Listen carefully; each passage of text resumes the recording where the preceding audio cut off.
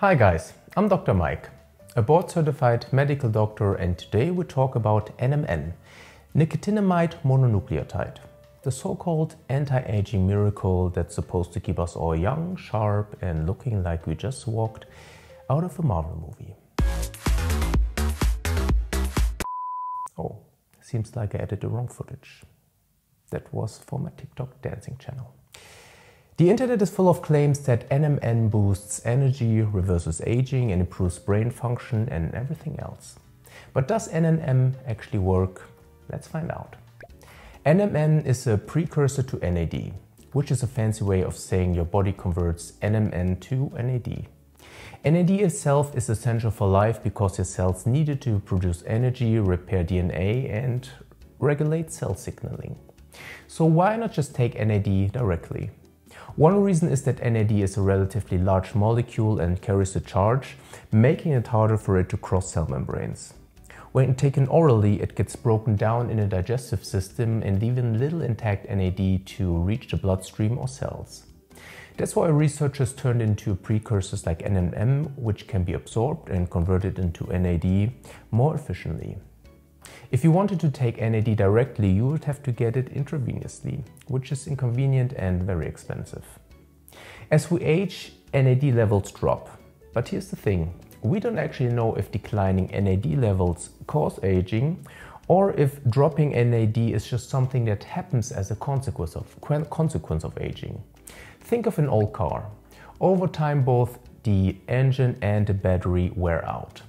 Now, if the battery dies, you might think that swapping in a new one will fix everything. But if the engine is also failing, that new battery won't magically turn that car into running like a new one. What does the research say? Most of the excitement around NMN comes from mouse studies that showed that NMN improved energy metabolism, insulin sensitivity, mitochondrial function and even extended lifespan. Another study found that NMN improved blood vessel function in aging mice. But here's the thing, we aren't mice.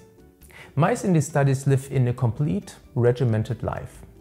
They eat at the same time every day, they live at a constant temperature, they have no stress from work, finances, or a spouse that keeps reminding them that their YouTube channel is, let's say, only modestly successful. Basically, the only way we could get a human trial as controlled as mouse studies would be to put people in a Truman Show style experiment. And let's be honest, that's not happening. The only way we might get real longevity data is in the future, is if in the future AI simulations get sophisticated enough to model human aging. And even then, I'm not entirely sure how we account for all the environmental factors nobody's really considering. Things like pollution, food quality, light exposure, the infamous microplastics, microbiome composition, and even social interactions. These all influence aging in ways we barely understand, and yet they're nearly impossible to control in a real-world study.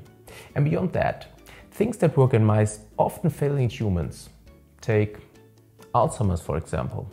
Dozens of drugs have cured Alzheimer's in mice, yet they did absolutely nothing in humans. Same with cancer treatments, sepsis drugs and even resveratrol, which expanded lifespan in mice but had no proven longevity effects in humans. David Sinclair will hate me for saying this. He does look like a Bond villain in this picture, but back to NMN. So just because NMN does something in mice doesn't mean it works in us. What about human data? There was a recent study where 80 middle-aged adults took NMN for 60 days. Here's what I found. NMN increased blood NAD levels, which is expected. Physical performance might have improved, but it could have also been just a placebo effect. Biological age stayed the same. Insulin sensitivity, no difference. Side effects, non-significant. So, what's the issues with this study? First, 60-day study is way too short to say anything about longevity. Aging is a lifelong process. Second, 80 people is just a tiny sample size. Third, they used the biological age measurement that's not the gold standard. Epigenetic clocks would have been more reliable, and even with those, I'm not entirely convinced as there are around two dozen different ones. So which one is the best and which one is the most reliable one? And here's something else to consider. The study was funded by an NMN supplement company, which doesn't really mean it's fake, but let's just say it's not exactly unbiased. So where does this leave us? Well, NMN does increase NAD levels and it might have some metabolic benefits, at least in mice. But right now there is no robust data proving it extends lifespan or prevents aging in humans. And if you've got cash to burn, go ahead, or you can just wire to me.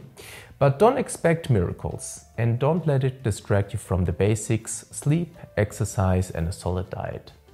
I don't take NMN or NAD and I don't intend so in the near future. I don't think it's worth it. If I had mice though, I would feed it NMN so that they live longer. Hope this helps. Till the next time. Bye bye.